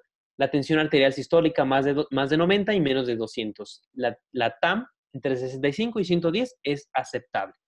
En lo respiratorio, que tenga una PAFI por arriba de 200, ¿de acuerdo? Un CO2 menos de, 50, un pH más de 7.30, una saturación por arriba de 90 de preferencia, pero actualmente ya se cambiaron esas guías y ya podemos ver pacientes que tengan 88 de saturación, ya cambió eso, que tengan de preferencia un PIP menos de 10, una FIO2 menos del 60% y una frecuencia respiratoria menos de 35.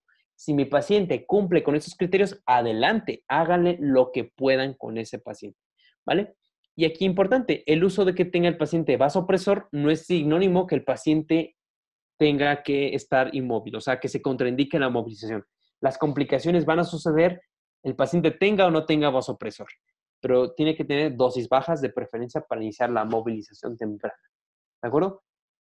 Eh, ahora sí que diapositiva importantísima, a quién sí no tengo que movilizar para nada y dejarlo descansar, ahora sí.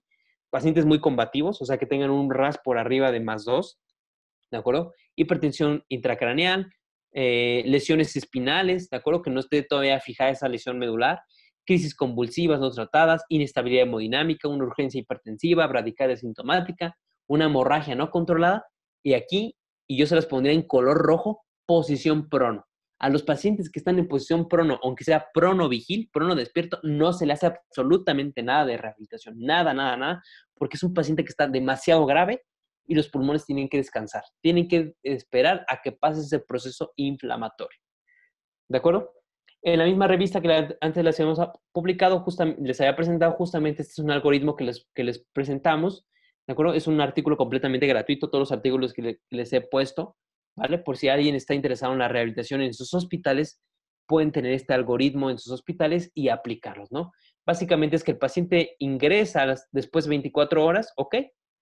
Le hago un examen neurológico, veo si el paciente es cooperativo. Si el paciente no es cooperativo, o sea, no está despierto, le hago la pregunta, le hago la pregunta justamente al intensivista o al médico, oye, ¿el paciente se puede despertar? O sea, ¿realmente tiene un criterio para estar sedado? Si la respuesta es no, entonces despiértenlo, despiértenlo y hay que movilizarlo. Si me dices, eso oh, no, ¿sabes qué? Está muy grave el paciente y no se puede despertar. Ok, está bien. Tiene inestabilidad hemodinámica. Si no tiene inestabilidad hemodinámica, o sea que los criterios de seguridad están presentes, le puedo hacer desde movilizaciones pasivas, electroestimulación, verticalizarlo, cuidar la piel, etcétera, etcétera. ¿De acuerdo? Pero si la respuesta es, ¿sabes qué? Si está inestable, ok, no le hagas nada, espérate el día siguiente, pero al menos posiciónalo bien, cuida la piel, dale tromboprofilaxis y cámbialo cada dos, cada dos horas de postura. ¿De acuerdo? Este es el panorama que menos quisiéramos, o sea, en el cual las cosas son pasivas. El panorama que más quisiéramos es en el cual el paciente ya está despierto, en el cual está despierto, tiene estabilidad hemodinámica y después me hago la pregunta, ¿el paciente tolera estar en la orilla de la cama y tiene fuerza en las extremidades superiores que superan la gravedad? Si la respuesta es sí, ese paciente yo lo puedo estar eh, haciendo transferencias pasivas de cierto modo, algo asistidas también, que haga marcha en su lugar, si el paciente puede caminar adelante o le puedo poner cicloergometría, ¿de acuerdo? Ahí los, famosos pedales que, que se pusieron de moda en la pandemia, ¿no? O si el paciente no tolera estar así, pues bueno, le hago eh, intervenciones en cama, ¿de acuerdo? Lo voy eh, verticalizando progresivamente, trabajo con los músculos del tronco para que el paciente me genere esa estabilidad a nivel del tronco y le voy a poner ejercicio resistido con base a la, escala MRC, que es una escala que eh, se valora el examen manual muscular. Y con base a eso vamos a dosificar el ejercicio. Si va a ser una movilización pasiva, si va a ser resistida, si vamos a poder poner electroestimulación o ya va a ser con resistencia máxima. ¿De acuerdo? Entonces, eso es algoritmo que les compartimos. Ojalá que ustedes lo puedan reproducir en sus hospitales también. ¿De acuerdo? Entonces, nos estamos dando cuenta que, de cierto modo, la sedación es una barrera para el fisioterapeuta, para que podamos hacer nosotros bien nuestro trabajo, porque un paciente sedado nos vamos a quedar cortos de objetivos. ¿De acuerdo? Y luego frecuentemente me encuentro con esta situación, donde pregunto yo al doctor, oiga, ¿por qué está sedado el paciente? Y me contesta, pues porque está intubado y le digo, ¿por qué está intubado? Y me contesta, pues porque está sedado. Entonces es como, ok, gracias, vuelva pronto, ¿no? Entonces tenemos que terminar con este círculo vicioso, ¿de acuerdo? Si el paciente está intubado, hay que ver por qué está sedado. ¿Realmente tiene una PAFI por debajo de 150 para que merezca estar sedado? ¿O realmente tiene una hipoxemia refractaria? ¿No estamos en metas de protección pulmonar? Ok, ese paciente sí tiene que estar sedado pero sabes que ya la enfermedad no está tan grave como para que el paciente ya esté oxigenando bien y ya está con un esfuerzo respiratorio adecuado, pues adelante, despierten a ese paciente para empezar la rehabilitación. ¿De acuerdo? Eh, este es otro artículo que nosotros publicamos también. Ahorita les voy a poner justamente el título completo, pero es de humanización en la unidad de cuidados intensivos. Pero nosotros ponemos este algoritmo de cómo tener a sus pacientes. ¿De acuerdo? si los quieren en una sedación profunda, en una sedación moderada o en una ligera sedación. Nosotros como fisioterapeutas de preferencia quisiéramos una ligera sedación, ¿no? Aquella que tenga dexmetomidina a dosis bajas, etcétera, etcétera. ¿Vale? Obviamente los pacientes que requieren sedación profunda pues son los que están graves, ¿no? Y pues la manera de monitorizar esa sedación y cómo estarla ajustando constantemente. ¿De acuerdo? Pero recuerden que paciente sedado, digo, paciente intubado no es sinónimo de estar sedado. ¿Vale? van a preguntar, oye, y pues, o, sea, tú hablas de rehabilitación y todo, pues sabes que en mi hospital no hay personal de rehabilitación. Hoy en día sabemos que la movilización temprana y la rehabilitación temprana no es exclusiva del fisioterapeuta. Si bien el fisioterapeuta es el personal más capacitado por todos los conocimientos de ejercicio, de movimiento humano que tenemos, pues sí, somos el personal como por excelencia, pero en general lo puede hacer cualquier personal. A mí me han mandado mensajes muchos intensivistas, urgenciólogos, internistas, enfermeros, terapeutas respiratorios, que me piden ayuda de cómo guiar las intervenciones. Y con, yo con todo el gusto del mundo los ayudo. Y luego me mandan los videos y, o sea, es sorprendente de que el personal de salud quiera hacer algo por sus pacientes, o sea, quiera darle un manejo humanizado. ¿De acuerdo? Entonces, todos podemos hacerlos. Básicamente les he dado las pautas y la evidencia de cómo realizar la movilización temprana. Y ven, Aquí estoy justamente con un paciente eh, con Guillain-Barré, ¿de acuerdo? Un paciente con Guillain-Barré, eh, y ya 24 días después de haber ingresado. Y aquí lo interesante es lo siguiente, aquí tengo un personal que es un obstetra crítico, de hecho otra obstetra crítica que a mí me ayudaron a movilizar a este paciente, ¿de acuerdo? En este caso yo soy el único fisioterapeuta que está aquí presente y el resto son doctores. Entonces, vean que no es exclusiva del fisioterapeuta. Lo mismo, vean aquí, la paciente a pesar que trae ventilación mecánica invasiva con Guillain-Barré, ahí lo pudimos realizar eh, bipestación, ¿vale? Igual aquí el intensivista ayudándome a realizar la movilización temprana, ¿de acuerdo? Igual aquí tengo un paciente, una paciente con choque séptico. Vean cómo los cuádriceps están completamente atrofiados. El choque séptico, bueno, la enfermedad eh, séptica, de cierto modo, es de las enfermedades que por excelencia se acaban el diafragma y los cuádriceps. Y ahí estamos realizando cicloergometría, ¿de acuerdo? Y está ahí sentadita en el reposo tranquilamente. ¿Vale? Paciente igual ahí, eh, pediátrica realizando bipestación. realmente ver pacientes pediátricos es muy fácil. Como son chiquitines, pues rápidamente los puedes. Si se cansa, pues rápido los cargas y ya. Los dejas ahí en su camita otra vez. ¿De acuerdo? Es muy, muy sencillo ver a los pacientes pediátricos, a diferencia del adulto, ¿no? Paciente con traumatismo cronoencefálico severo, de cierto modo ahí, realizando movilización y deambulación temprana. Esta paciente viene caminando desde aquí y se va al baño a realizar pues, pues sus correspondientes necesidades, ¿no? Entonces vean que priorizamos por la funcionalidad del paciente, ¿no? Ven, es una paciente que terminó con pinza fina, a pesar de que tenía justamente un traumatismo cronoencefálico severo, conservó su pinza fina, ¿no? Que sabemos que es de las cosas más difíciles de volver a lograr en un paciente neurológico. Pues ahí medio medio nos trataba de escribir, ¿de acuerdo? Justamente para humanizar, o sea, si el paciente ya puede escribir, pues pásenle un lápiz, pásenle una, pásenle una hoja para que realmente haya una adecuada comunicación. Y la comunicación es parte del manejo humanizado en el paciente crítico, ¿de acuerdo? Igual paciente, eh, si no me recuerdo, eh, por pancreatitis, digo, no es cierto, por cáncer de, de, páncreas, ¿vale? Ahí ya después de que se le había realizado la cirugía, sentada a la orilla de la cama y pues realizando actividades eh, que le gustan, ¿no?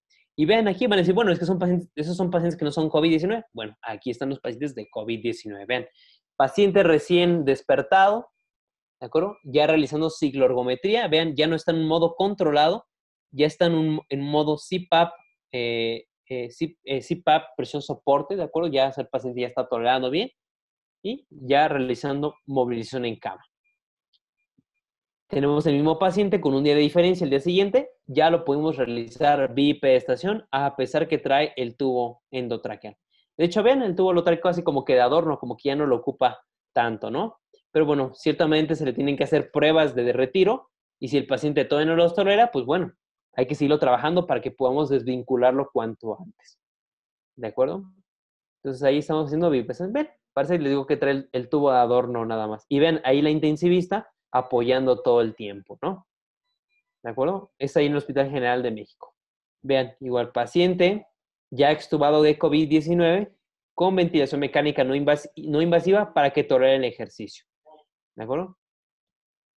Y vean aquí ya realizando pipe estación independiente, bueno, nada más con auxiliar de la marcha y realizando marcha en su lugar. De hecho, este paciente, lo que quiero que se queden con este paciente es que vean, eh, bueno, nosotros, nosotros somos muy fijados en esa parte musculoesquelética, ven los cuádriceps, cómo están, de cierto modo están conservados. Vean la edad que tiene el paciente. Es un paciente que era basquetbolista. Entonces aquí es donde confirmamos que el estado previo a la enfermedad crítica es la que te va a ayudar a salir de ella y no se diga ahorita en COVID-19. ¿De acuerdo? Aquí igualmente ya aquí en terapia actualmente, ¿vale?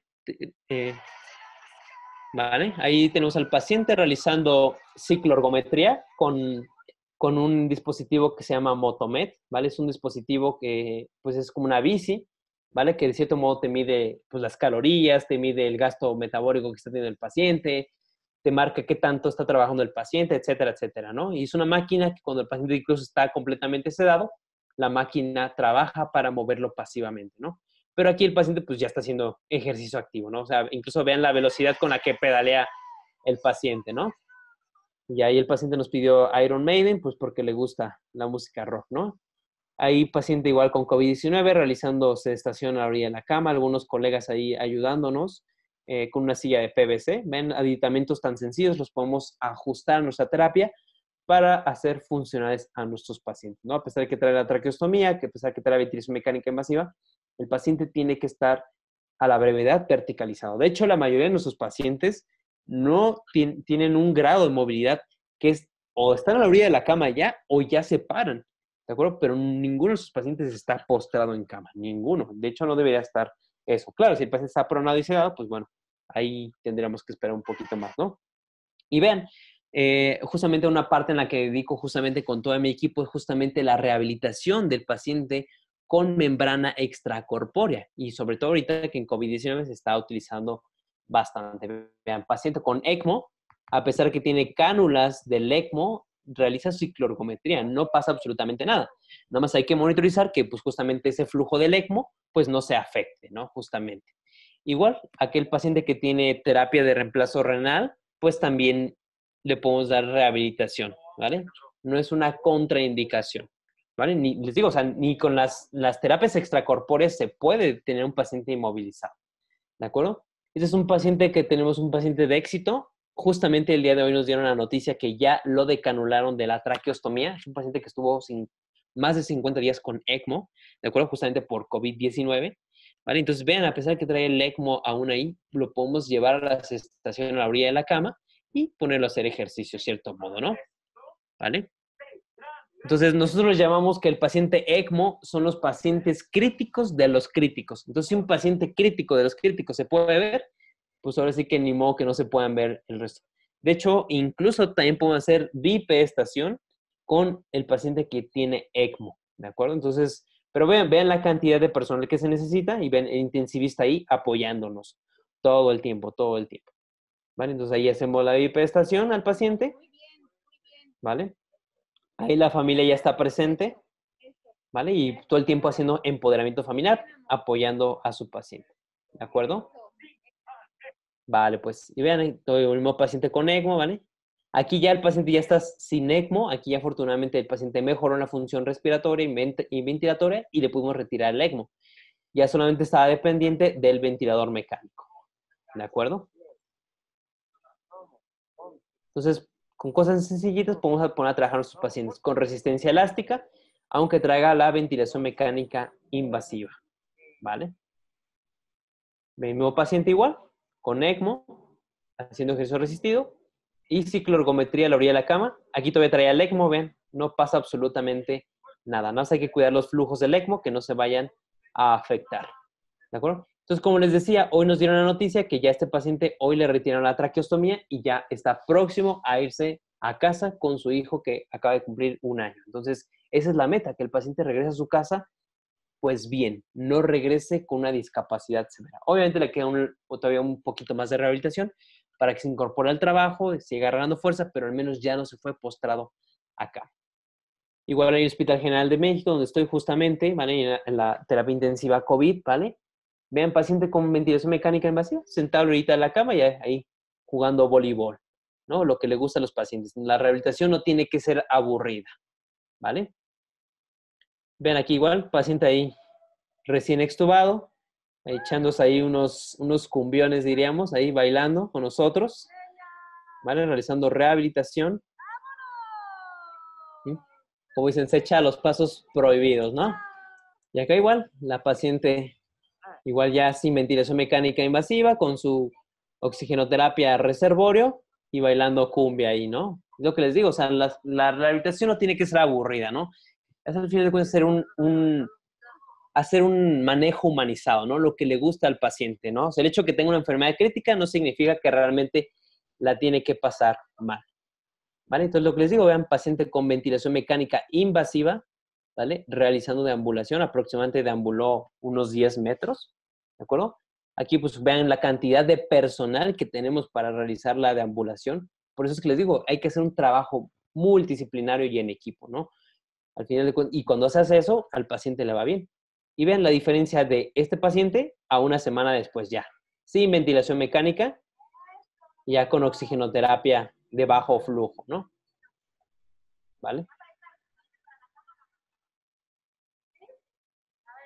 Y ahí estaba bailando la, la bilirrubina de Juan Luis Guerra, ¿no? y vean, es justamente, ven, igual, paciente con ventilación mecánica invasiva, realizando deambulación, ¿vale? Igual, pues, son pacientes con COVID-19 al final de cuentas. Entonces, vean, o sea, a pesar que el paciente está eh, sometido todavía a un soporte invasivo, si el paciente tiene criterios de seguridad, tiene fuerza, pues entonces hay que darle lo que necesita el paciente, ¿vale? Entonces, aquí no le gusta, después de, muchos, después de muchas semanas no caminar, pues obviamente lo que se ha de sentir con estos pacientes, ¿no?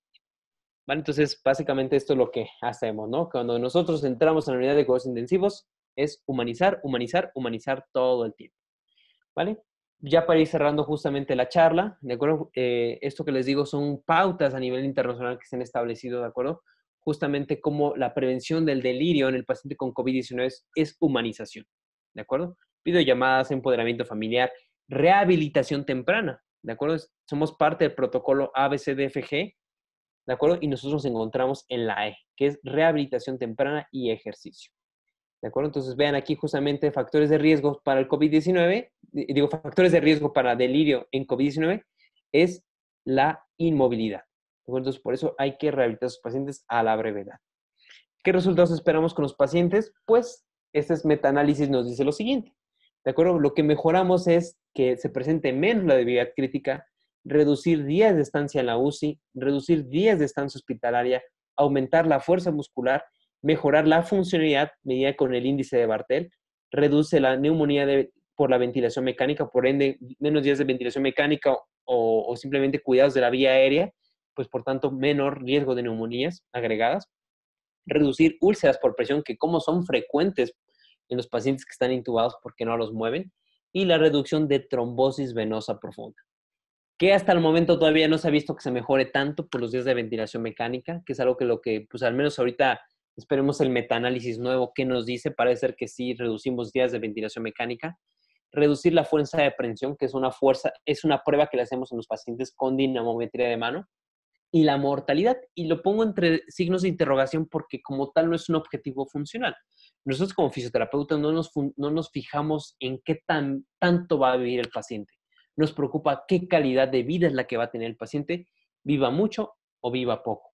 Y la otra, no es lo mismo que se vaya un paciente caminando a su casa que postrado en cama dependiente de un ventilador mecánico. Obviamente va a tener muchísimo más mortalidad aquel que se va dependiendo de un ventilador aquel que ya regresa su, regresó a su casa caminando. Entonces, la mortalidad solamente la han medido a 90 días. Sería interesante medirla a más de 90 días, incluso hasta años, 5 años estaría excelente, ¿de acuerdo? Pero son estudios este, longitudinales que, pues, de cierto modo son difíciles, pero claro que se podrían hacer.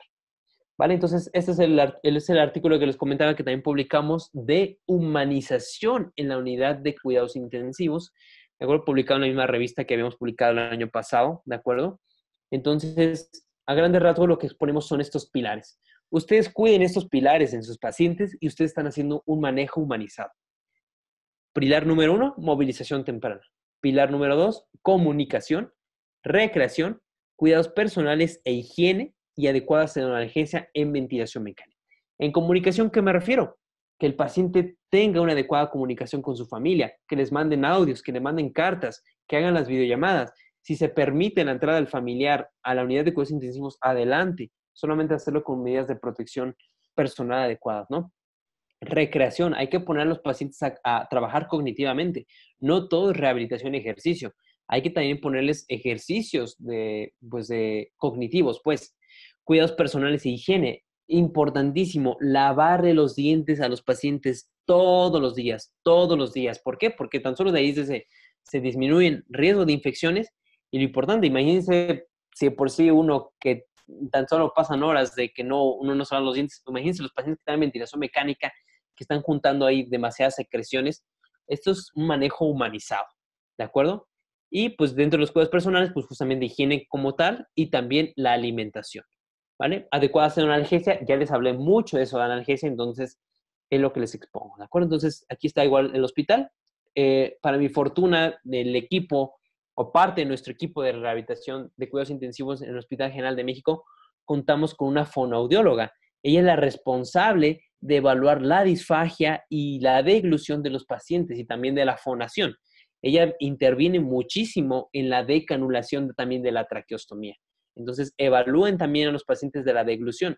Acuérdense que en cuanto se extuba el paciente, como tuvo muchos días de ventilación mecánica, obviamente puede haber una lesión de esos músculos que nos ayudan a la deglución. Entonces, hay que valorar deglución y no darles inmediatamente de comer a los pacientes. ¿De acuerdo? Y ven aquí también, lavándole los dientes todos los días, todos los días, que eso no es como tal trabajo de, de la fonoaudióloga, es responsabilidad como tal, pues de, de enfermería, pero todos los podemos hacer. Y aquí haciendo videollamada con los pacientes a pesar que no están presentemente con su familia, ¿vale? Eso es hacer un manejo humanizado. Y bien, a pesar que los pacientes cumplen años en su estancia hospitalaria, pues también ahí les cantamos pues las mañanitas a los pacientes, ¿de acuerdo? Al final de cuentas es que el paciente la pase bien, ¿no? no el hecho de que tenga enfermedad crítica no significa condenarlo a que tenga que estarla pasando mal. De hecho, ahí le dieron creo que un pingüino al paciente, un pingüino marinela. Y aquí tenemos un paciente pues realizando ejercicios de caligrafía, ¿no?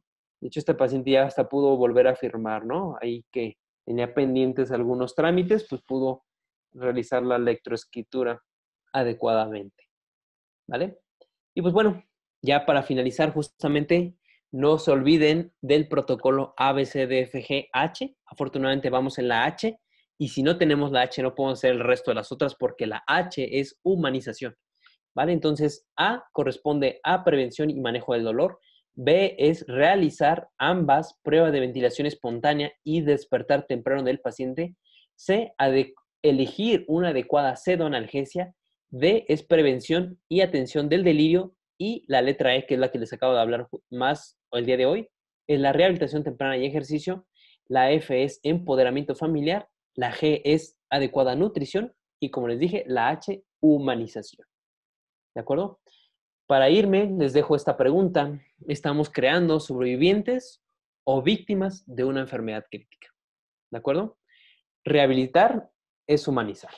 En parte es todo. Espero que haya quedado claro. Eh, estoy para atender sus dudas, pero sobre todo para hacerles esta invitación, que pongan a su UCI en movimiento. Muchas gracias. Muchas gracias, fisioterapeuta Alberto Gómez. Le agradecemos mucho por la amplia exposición que nos ha compartido esta tarde. De hecho, eh, todas las imágenes y los videos que nos comparten la última eh, parte de la exposición, la verdad es que son bastante significativos y eh, recuperan justo la importancia de esta... Mm, pues de esta profesión justo para esta enfermedad con los pacientes post-COVID. Bueno, pues a todos nuestros asistentes les recordamos que eh, pueden hacer preguntas, comentarios, si ustedes gustan también podemos activarles su micro y por lo pronto eh, hay, comentarios, hay bastantes felicitaciones también, pero aquí tenemos una pregunta de Lucero Tomás. Ella eh, pregunta que si usted le aconsejaría algunos ejercicios para los neonatos en la UCI. Ok, eh, bueno, hablar de fisioterapia eh, o rehabilitación de cierto modo en neonatos, em, un concepto importante de, neonatología es neurodesarrollo. Y hablar de cuidados intensivos neonatales es hablar de cuidados del neurodesarrollo. De cierto modo, los neonatos tienen que tener menos intervención. De hecho, eh, si el paciente no ha cumplido las 36 37 semanas de gestación se le hace mínima manipulación. De hecho, nada más se posiciona, ¿de acuerdo? Se hace con los nidos de contención que tenga una alineación simétrica a las extremidades y nada más, nada más. Si el paciente ya cumple con 36 semanas, 37 semanas de gestación, son pacientes que a lo mejor pueden tener mínima, mínima manipulación. Y digo mínima que de cierto modo no es tanto como movilizarlos. Eh, también tengo, experiencia en el paciente neonato crítico.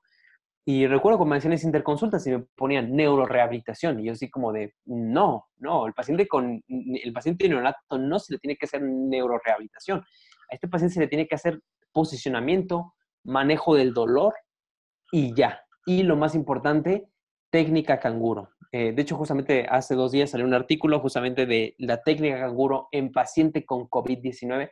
A pesar de que la mamá esté sedada y con ventilación mecánica, hay que hacer técnica canguro con ellos, ¿de acuerdo? Obviamente es una súper organización eh, con todo el staff médico para poder realizar esa técnica. Pero neonatología es poca manipulación y la poca manipulación que se hace es justamente trabajar la cuestión orofacial para que el paciente degluta bien, eh, tal vez hidroterapia, eso sí está recomendado, y pues justamente el posicionamiento eh, de contención nada más. Y lo más importante también es lo que lo llamo el mecimiento, ¿no? Que es tomar al niño y mecerlo, ¿no? Que justamente es estimulación vestibular y eso sí también está indicado. Pero la manipulación como tal, la movilización pasiva, muy poco. De hecho, eso solamente se hace hasta que el paciente ya egresa o está tal vez ya nada más como en, en cunero. Tal vez ahí ya se puede hacer la movilización, pero antes no, ¿vale? Sí, muchas gracias. Eh, también aquí María Graciela eh, Rubio hace un comentario eh, que de hecho es bastante pertinente porque ella comenta, gracias, gran tema y exposición, solo que la problemática que podemos encontrarnos en nuestras unidades es que solo contamos con eh, personal de enfermería y esto es justo una problemática que podemos encontrar. Entonces, al respecto, ¿qué, podría comentarnos? Bien, eh, justamente em, esta pregunta es bien frecuente, la verdad. Ojalá que más adelante la rehabilitación del paciente de estado crítico más que una cuestión de suerte de que haya, ah, por suerte había un fisioterapeuta en el hospital, sea un derecho. O sea, que en todos los hospitales hay un personal eh, responsable, algo así, para la rehabilitación del paciente crítico, o sea, un fisioterapeuta. Pero en este caso, pues como lo dije, es multidisciplinario y todo mundo lo puede hacer. Por eso les compartí los artículos, yo, así que yo los, yo, los, yo los invito a leer esos artículos para que lean a profundidad el algoritmo de cómo hacerlo. En este caso, yo lo que recomiendo es que el personal de enfermería se coordine con los médicos con camilleros, con terapeutas respiratorios. Oye, ¿sabes que este paciente ya está despierto? ¿Qué te parece si lo sentamos a la orilla de la cama? Tú ayúdame con los pies, yo le jalo los pies a la orilla de la cama y tú me ayudas con la, con la espalda, ¿no? Alguien me ayuda con el tubo todo el tiempo a mantenerlo alineado y ahí lo dejamos sentadito. Entonces ya este paciente está sentadito en la orilla de la cama y venga, vamos a empezar a hacer movilizaciones activas, ¿no? Con las manos, los codos, los hombros, que empiece con, con los tobillos, ¿vale? Y así poco a poco vamos a ir cambiando ese hábito. Entonces, se va a ir sumando más gente y más gente y se va a hacer un megaproyecto enorme. ¿De acuerdo? Entonces, es lo que yo les digo, súmense, hagan equipo y pues ahora sí que, eh, ahora, sí que les doy pautas básicas. Eh, si quieren ahora sí que más información al respecto, desde capacitaciones, les comento, nosotros, yo pertenezco a dos grupos de capacitación en áreas críticas. Una es ventilación mecánica Vento, que nos dedicamos a la capacitación de ventilación mecánica, y la otra es el adiestramiento de rehabilitación crítica, que es el logo que está aquí de Fisioterapia Intensiva México. Si quieren así más información al respecto, ahí, aquí está mi correo y con todo gusto este, les paso información de más capacitación, pero de que se puede hacer, se puede hacer siempre y cuando hagamos equipo multidisciplinario. Es mi consejo que les doy.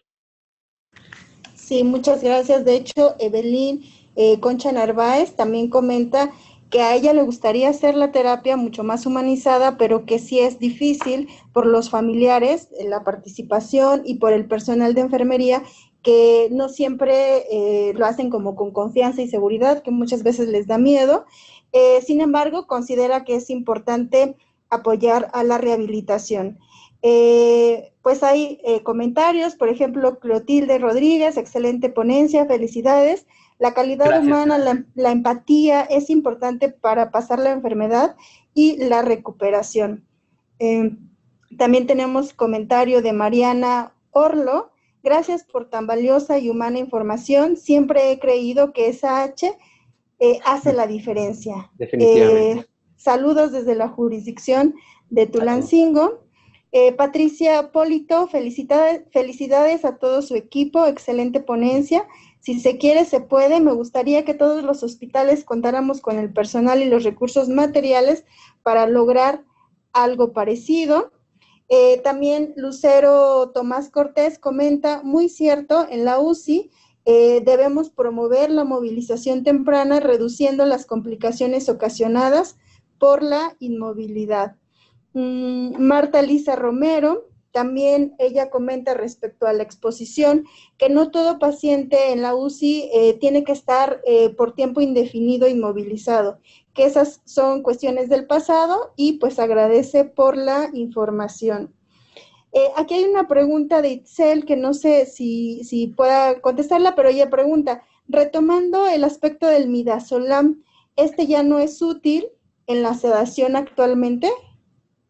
lo que les comentaba, los últimos estudios que apuntan, no tiene mucho que ser un estudio como dos, tres meses, lo que las conclusiones son, aumenta días de estancia hospitalaria, días de ventilación mecánica, debilidad del paciente crítico y disfunción diafragmática. Ahora, no lo digo con el afán de satanizar, por así decirlo, un medicamento, ¿no? Yo sé que en su momento lo, vivimos la, que los insumos estaban bien agotados y era lo único que teníamos para sedar. Pero si tenemos la opción sobre el midazolam, optar por mejor otra opción. ¿De acuerdo? No, de preferencia no, no optar por ello. Y, eso es bien difícil luego, porque también a mí me ha tocado, o sea, nos tocó picar piedra de decir, ¿sabe qué, Doc? Este, ¿Qué le parece si en vez de pasarle mida, le pone mejor propo? y pues fue un choque de ideas, ¿no? Porque muchas veces, mm, y lo digo abiertamente, o sea, muchos médicos ya están formados en cierta parte, ¿no? Y uno no busca criticar su, su práctica, ¿no? Lo que busca es mejorar el pronóstico del paciente. Entonces, ahora sí que hablando se entiende la gente y hay que explicar, oye, ¿qué, le parece mejor en vez de ponerle miazona, le ponemos propo, este, ajustamos mejor la dosis, lo combinamos con, no sé, X fármaco y tenemos las mismas metas de sedación, ¿no? Pero bueno, eso es lo que yo comparto en mi zona. Pero si es lo único que tiene sus hospitales, ni modo, es lo que tendríamos que aplicar. Pero si puede cambiar, adelante. Sí, muchas gracias también. Em, aquí tenemos un comentario de Florina que dice, gracias por la información, muy buena, excelente. Ojalá que todos nos unamos para la movilización del paciente. Y bueno, este comentario es justamente pues la invitación que nos está haciendo esta tarde el fisioterapeuta.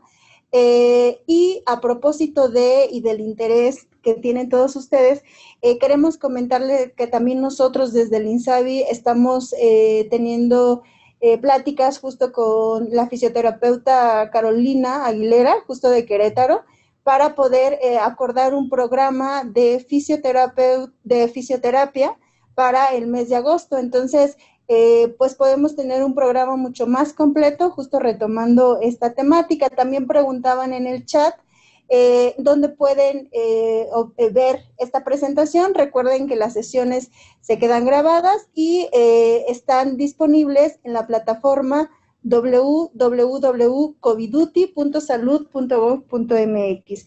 Bueno, pues por lo pronto eh, eh, ya no hay preguntas, eh, fisioterapeuta, entonces le gustaría cerrar con algún comentario para la tarde del día de hoy.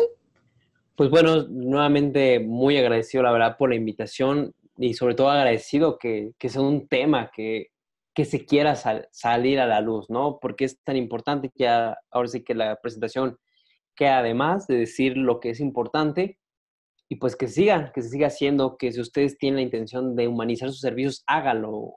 A veces humanizar empieza por uno y ese contagia a los otros y le va bien al paciente. ¿De acuerdo? Ustedes síganse capacitándose y pues muchas gracias, la verdad, por su tiempo a los, a los, asistentes y gracias por todos sus comentarios. Seguimos esforzándonos ante esta pandemia. Muchas gracias por todo.